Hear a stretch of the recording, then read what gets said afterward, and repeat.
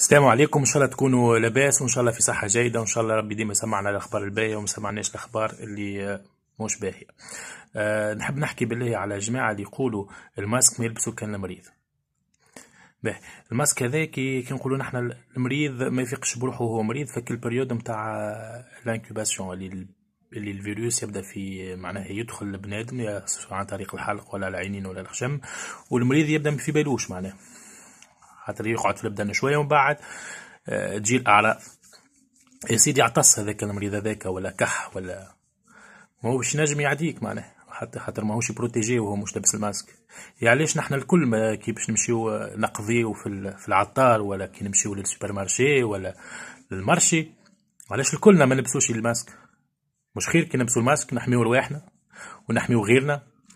معناها لو كان جينا الكل لابسين الماسك نتاعنا راهو وين من يمشي يجي الفيروس معناها.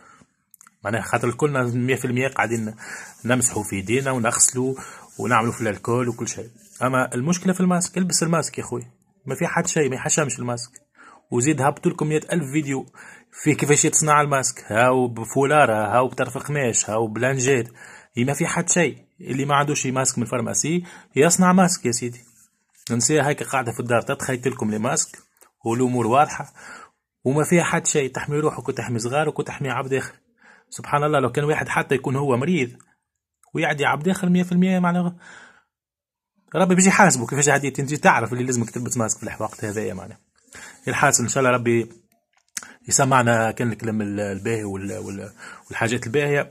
هيا تونسي باهي يلبس الماسك وتشوف تحمي روحك وتحمي غيرك. وربي معاك.